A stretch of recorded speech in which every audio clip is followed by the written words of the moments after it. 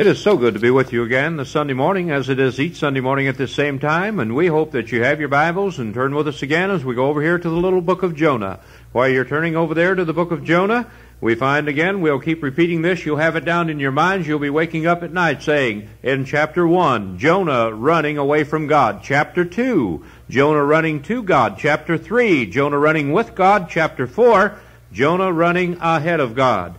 So if you have your Bibles now, we're over here to the second chapter of the book of Jonah, and we have said as we started last week, we're going to approach here Jonah uh, swallowed by the whale here, and the verses here up to verses verse seven here or verse six. We're going to apply this three ways. Last week we viewed it from salvation, where Jonah is a type of Christ. For as Jonah was three days and three nights in the whale's belly, so shall the Son of Man be three days and three nights in the heart of the earth. Now we're looking at it from a doctrinal aspect, or, or aspect, I should say. In Jonah chapter 2, notice here, if you will, let's begin with verse 1. Then Jonah prayed unto the Lord his God out of the fish's belly. Now, we are going to take this one step at a time here so that you get it. I would underline the word belly here, and we find out it comes from the Hebrew word miah, M-E-A-H, and it literally means abdomen. That's not too hard to understand. Then in verse 2, And I said, I cried by reason of my affliction unto the Lord, and he heard me. Out of the belly of hell cried I, and thou heardest my voice. Now, we'd like for you to circle the word belly here in chapter 2, verse 2, because here we have another word, which is a Hebrew word, betan, B-E-T-A-N, and it does not mean, it's an entirely different word from belly here of the fish's belly, but it means a hollow place, and the word hell here, again, is a mistranslation by the King James translators. That should have been transliterated, and it is the Hebrew word Sheol, not hell. In fact, we are going to make this distinguishing mark here today and look at this for just a little bit. We do not have time for any kind of an exhaustive study, uh, anything like that, but we do need to take a few minutes and point out the doctrinal differences here as far as the teaching of the Word of God on some of the various places. So we find out the word is Sheol here. Other words, we find out that Jonah, when he was swallowed by the fish, the large fish, that he went down into the belly of the fish, and he was still alive, and he cried out unto the Lord. And then he died. And then he separated from the body. He went down into a hollow place, which is in Sheol, not hell now. In fact, we'll say this because we'll not have time to uh, go into great detail on it. But actually, in hell, which is translated in the New Testament from Gina or Gehenna, and it is actually only spoken of 12 times. We find out that beginning with Matthew chapter 5, that uh, the everlasting fire, Gehenna, is spoken of 11 times by the Lord Jesus himself and appears only one other time in the whole New Testament, and that is found in James chapter 3 verse 6. So out of the 12 times, uh, where we find hell translated properly now from Gehenna. It comes 11 times by Christ himself, one time in the book of James, chapter 3, verse 6. But here's a different word and a different place, and the word is Sheol. Now, up until Christ died, there were no Old Testament saints ever went to heaven. Everyone, whether they were saved or lost, went into a place called Sheol. Now, turn with me over here, if you will, to the New Testament, because we can only give the sketch of this because of our time on the air. We do not have time to go into a detailed study of it, but I think we can give enough here to separate it. In fact, the book that we have written, A Biblical Examination of Hell, we have covered all of this in there with the diagrams and things like that. But this will be enough this morning to at least show the distinguishing difference uh, between the various places. Now, over here in Luke chapter 16, and begin here with verse 19, there was a certain rich man which was clothed with, uh, clothed with purple and fine linen, and he fared sumptuously every day. There was a certain beggar named Lazarus, which was laid at his gate full of sores, and desiring to be fed with the crumbs which fell from the rich man's table. Moreover, the dogs came and licked his sores. Now notice in verse 22, and it came to pass the beggar died, and was carried by the angels unto Abraham's bosom, and the rich man also died and was buried. Now we have some teaching, especially the Jehovah's Witnesses, that when you die, your soul and spirit stays with the body. And uh, they say that you go into the grave and you're in a state of annihilation. But then we say this, if that's the true case and your soul and spirit never separate from your body, where in the world are the angels carrying uh, you then? Where, what uh, reason are they to get involved? In fact, the Bible does tell us over in James chapter 2 verse 26 that the body without the spirit is dead. But here we have two men, one was saved and one was lost, and they were taken into Sheol. Now notice in verse 23, and in hell he lift up his eyes, and here the King James translators erred again. Now there are not that many errors. Do not, we're not trying to discredit the Word of God here, but we're showing that the translators here did not correctly translate this word here, which is Hades, which is exactly the same place as Sheol in the Old Testament. Here the word hell is mistranslated, and the Revised Standard has it correctly, and they have the correct word there of Hades. Now, up until Christ was crucified and ascended back to heaven, we find that the saved and the lost both went into the center of the earth. And that's where it is. Remember when Christ uh, died, used here as an example of Jonah in Matthew 12:40. For as Jonah was three days and three nights in the whale's belly, so shall the Son of Man be three days and three nights in the heart of the earth, or the center of the earth. Now, we find out here in verse 24, he cried and said, Father Abraham, have mercy on me, and dip my finger, uh, the tip of his finger in water, and cool my tongue, for I'm tormented in this flame. Now, we find out that everyone went there who was lost. There was a great gulf that separated the two places. Now notice in verse 25, Abraham said, Son, remember thou in thy lifetime receiveth the good things, likewise Lazarus evil. Now he is comforted, and thou art tormented. Now in verse 26, the two compartments, we find out here, the Lazarus was comforted. He was in what was called paradise, or Abraham's bosom. And uh, we find the lost man was in torment. But between the two places in the center of the earth, we find out that there was a tremendous gulf so that no one could pass from one side unto the other. And notice here, if you will, in verse 26, and besides all this, between us and you there is a great gulf fixed, so that they which would pass from hence to you cannot, neither can they pass to us that would from thence. Now, we find out about this place, and let me say this, this is not Gina or Gehenna, the everlasting lake of fire. The literal hell or the everlasting hell, there is no one in that particular place today. No one in Gehenna. But we are going to find out here what in the world happened then. When the Lord Jesus Christ came, the saved that were in the paradise side, over there with Lazarus, we find out when Christ died, he went into that paradise side.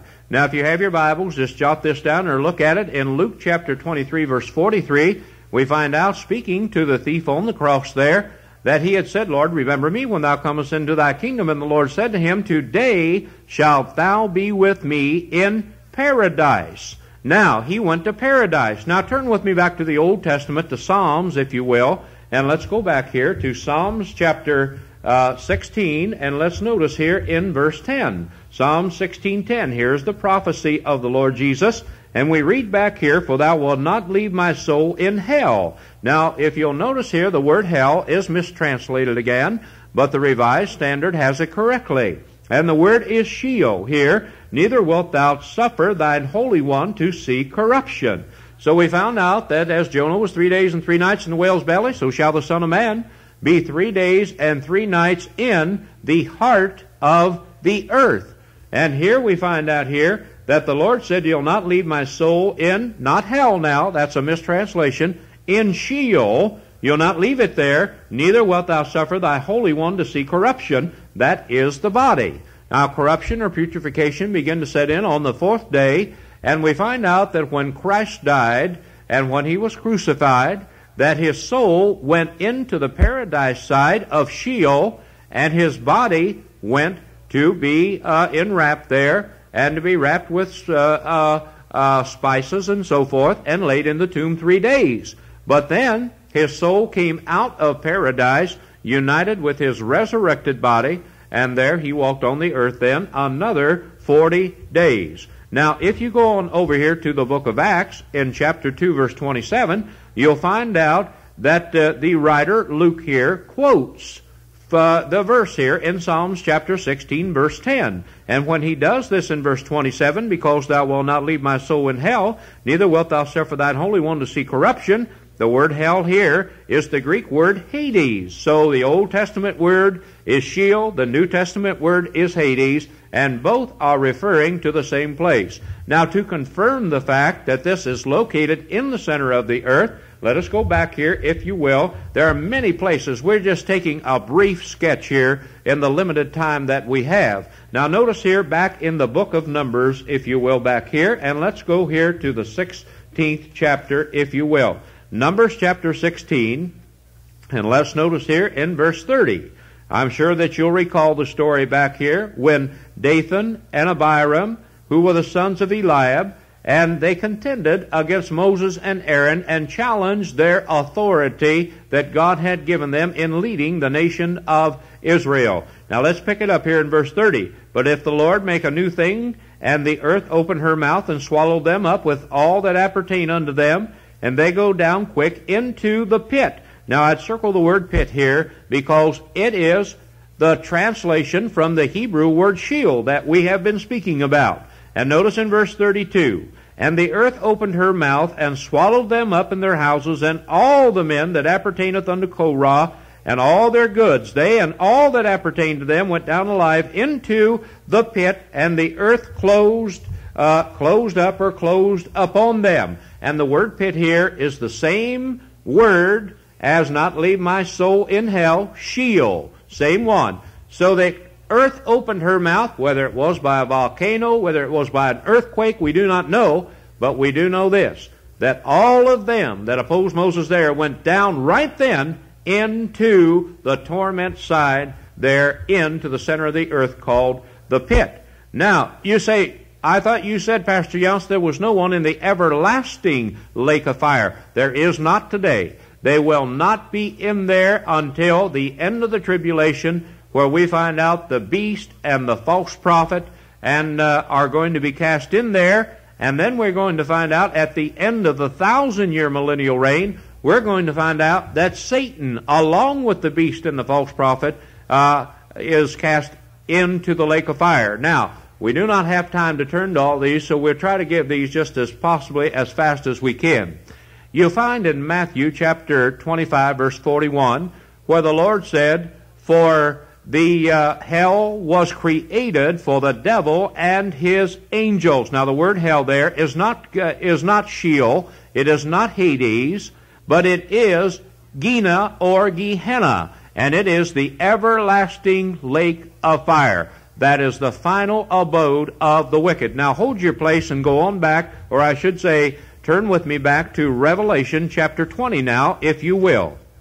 Revelation chapter 20, and we're going to find that Christ is going to empty all those in Hades, and they're going to have a resurrection and be brought up to stand at the great white throne judgment, and then after they're judged according to their works for the degrees of punishment in the everlasting lake of fire. Now let's notice here, if you will, in verse 13. Now this is the resurrection here now of the lost. This is bringing them up out of Hades. And the sea gave up the dead which were in it, and death and hell. Now, if you have a Scofield Bible or a Thompson Chain reference, you'll find the word hell here is not Gehenna. It is not the everlasting lake of fire, but it is Hades, the place that we're talking about, the same place that Jonah went to, only he went to the paradise side, separated by a great gulf, and the rich man went to torment. And this is the same place these lost people are here and where they go today. Every lost person today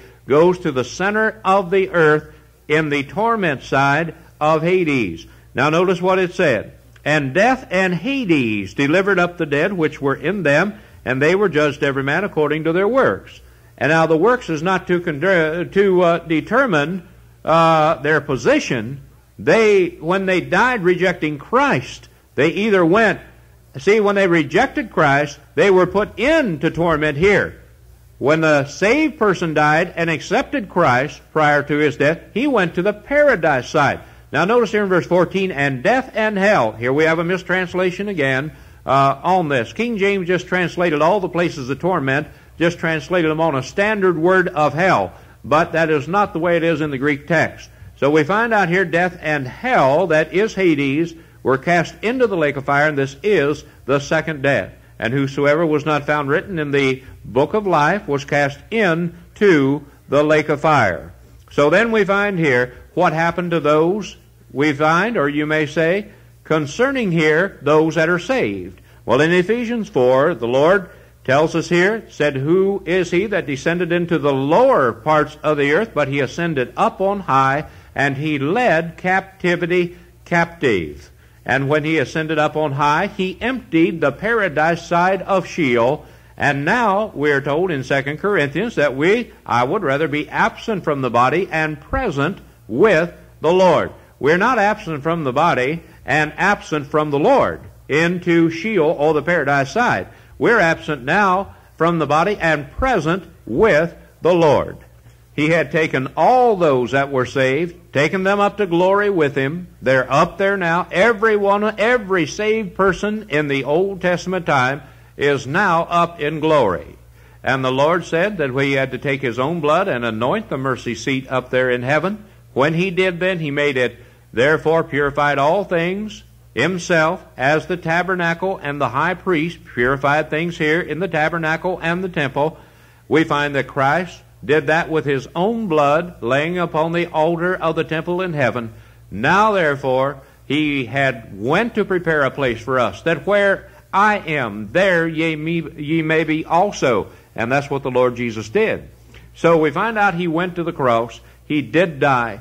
When he died, his body was in the grave three days, just as Jonah was in the whale's body three days and three nights. But out of Sheol, we find out, Betan, the belly or the hollow place of Sheol. He cried out unto the Lord. So Jonah cried out not only on the whale's belly before he died, but he also cried out after he had died. Jonah died. He did not pull up. Now I used to think, and I've heard this so many times, you know, we're trying to find a fish where a man can be alive in there three days and three nights. And I could just picture old Jonah, you know, he'd pull up his little old stool there and sit in that whale's belly, or maybe get up and walk around, look at a few ribs, and go back and sit down again. And how that boy, what a stench! That guy, how in the world can he stand to smell all those gastric juices in that that big whale's body? And how in the world can he breathe? Can he get enough air in there, and so forth?